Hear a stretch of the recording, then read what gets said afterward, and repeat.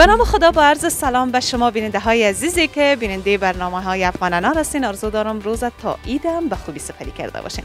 دوستای عزیز قسمی که شما می‌بینین میریم تصویر از فارم هم می داشته باشیم. فارم بادرنگ است و باغ بسیار کلان است باغ انگور هم است. میریم تصویر می‌بینیم و دوباره برمیگردیم. در لحظات اخیر با ما همراه باشیم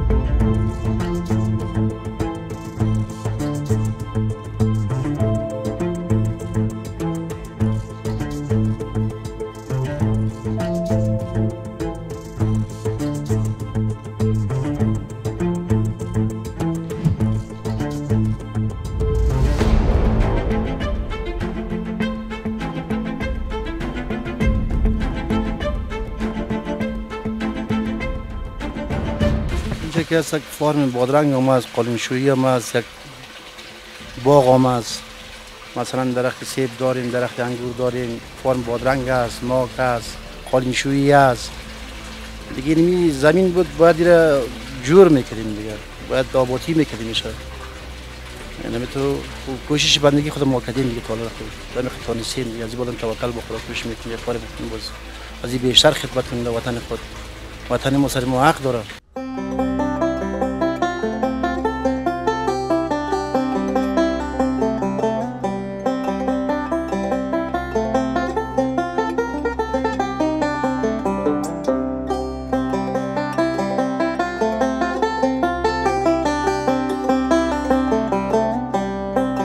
مدت شش سال میشه یک هشت نفر کار می‌کنم اینجا. هشت نفر کار می‌کنیم یعنی هشت نفر بادرنگ است. هشت نفر کار می‌کنه اینجا. مثلا یک دو نفر دیگه خانه دیگه هم ده نفر. دیگه یک هشت نو نفر در قلینشویی است یک هجده نوزده نفر اینجا کار می‌کنه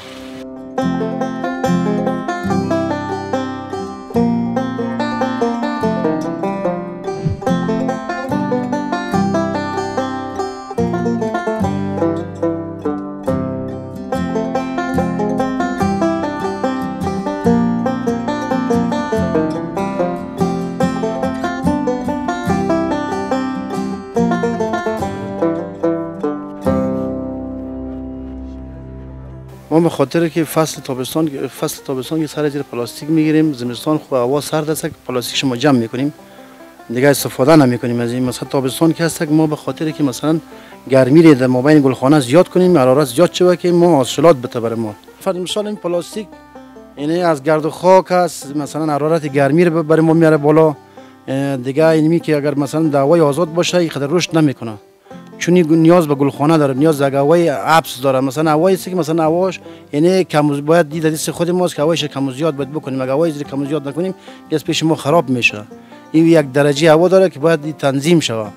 نه هوایش زیاد گرم شوه نه هوایش زیاد سرد شوه. بسیار بم یک هوایی که می می‌خواد ما باید همو هوا عیار عیار کنیم. اگر عیار نکنیم یا حاصل نمیته برای ما.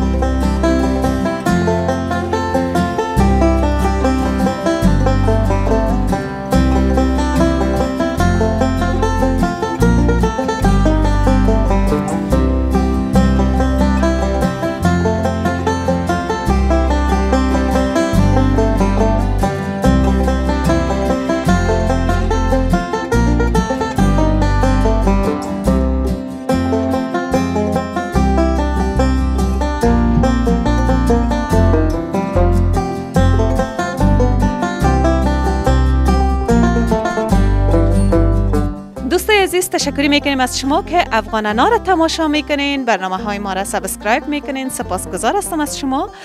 و ای بود برنامه امروزی ما. در امین جواب پایان می‌رسه تا برنامه آینده خدا نگهدار همه شما. وقتتان بخیر. افغان انار انکاسه زیبایی های افغانستان.